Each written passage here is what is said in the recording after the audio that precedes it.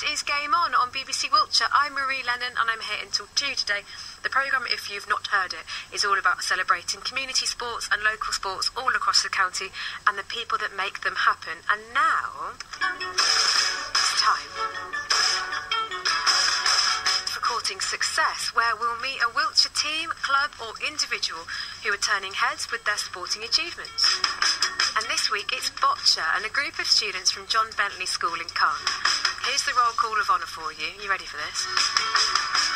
Lovely Prommel, Megan Hughes, Levi Jenks, Chelsea Jenks, and Leanne Stevens, and their PE teacher Sam Shuka.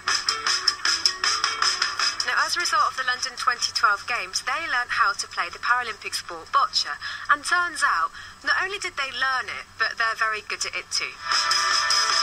So I went to meet them to find out a bit more about why they like know what success they found so far. But first of all, Sam Shuka, the PE teacher, explains the school's relationship with this sport of boccia. Well, obviously, we did lots of work based around the Olympics and Paralympics last year, and from that, it's been a part of our legacy here at the John Bentley School. Um, and we've made a focus on some of the Paralympic activities for some of our less able and disabled students. The first of those was boccia. Um, we were given the opportunity through our school games organiser, Vicky Richardson, and she helped us attend the county competition in Swindon, where they did so well uh, that we were then asked to go on to the Southwest Regional Finals. So something which you started just to get involved with the Paralympic Games um, and just learn a bit more about. Turns out you're actually quite good at, which must have been brilliant. Who wants to tell me about the rules of the sport? Because I'm coming to this completely new. Um, first you get six balls of blue, six balls of red, and one white ball. Um, one of the team players in the team has to throw the white ball, which is jack ball, onto the court, and then the rest of the team has to try and get the closest ball to the white ball. What is it about the sport that you thought, oh, this is this is a good sport to take part in?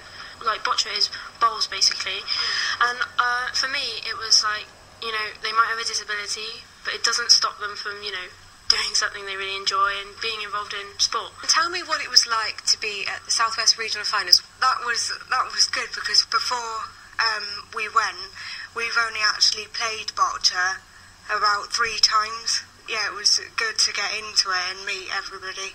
Well, people think that it's easy to do, but it takes, you know, hand-eye coordination. It's just really good because everybody was praising everybody for their work. And what's it like to be part of a team and playing the sport and, getting that recognition? It was really nice, but it was also kind of scary. But it was nice to prove to like able bodies that people in wheelchairs can do sports just in a different way. Mm. So that was quite nice too. You get to meet new people and like they're all in the same they're all in the same like category as you, like they've all got their problems so that you feel like nothing's wrong with you. It's just normal to be the way you are. Yeah. And, and, as we were hearing, it's a sport which you can all take part in together. So people who are in wheelchairs, but also people that aren't. How how nice is that to be able to play sport with some of your other school friends? That was quite good too, because obviously they could see that it's easy for us to take part as long as they give it, us a chance to prove to them that we can do it. And tell me what going to the regional finals, the Southwest Regional Finals, was like. Oh, it was amazing. Really hard because the other teams won't give up. Really? We had to keep fighting and fighting. but obviously you did really well. Do you, do you want to keep playing boccia? Yeah, I won't mind it. Yeah. Tell me what these two students are going to be doing.